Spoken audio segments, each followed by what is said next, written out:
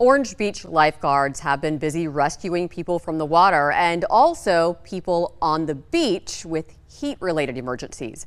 As WKRG News 5's Debbie Williams reports, the intense heat can mean intense problems no matter where you are.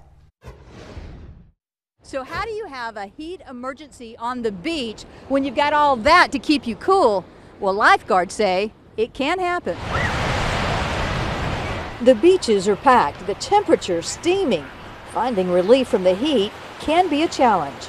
Either get in the water or just like stay in the shade. We've had some pretty extreme heat out here on the beach and uh, you can feel it as soon as you walk outside. It just feels like the air is a little thicker. Even at the beach, there are things you need to know before you go. Drink plenty of fluids and uh, bring uh, canopies or umbrellas. Lifeguards in Orange Beach and Gulf Shores are staying busy with heat related emergencies that are pretty easy to recognize if you know the signs. So if you stop sweating, that's a bad sign.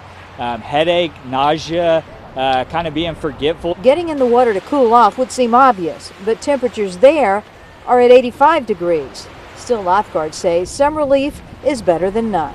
It's not the coldest water that we have, but it's definitely a lot colder than the uh, outside temperature. This type of heat is common this time of year, so when coming to the beach, pack all the standard beach gear and a little something extra. It's almost impossible to uh, survive out here for longer than an hour without the shade, so uh, you got to have some form or fashion of shade. On the Baldwin County beat in Orange Beach, Debbie Williams, WKRG News 5.